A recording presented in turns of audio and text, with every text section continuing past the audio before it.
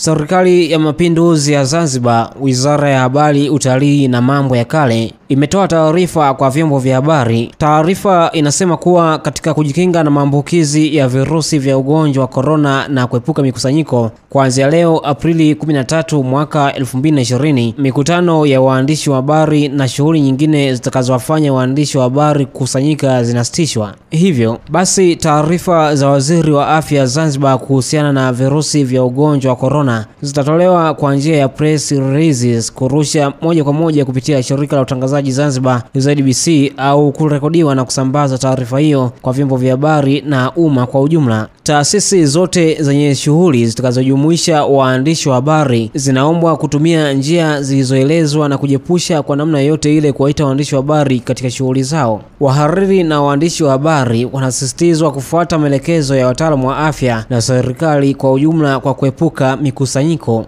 Imetolewa na Dr. Juma Mohamed Salumu, mkurugenzi idara ya habari maelezo Zanzibar, 13 Aprili 2020. Hiyo ni taarifa kutoka serikali ya Mapinduzi ya Zanzibar, Wizara ya Habari, Utalii na Mambo ya Kale, katika kitengo cha idara ya habari maelezo Zanzibar. Endelea kufuatilia Uhondo TV.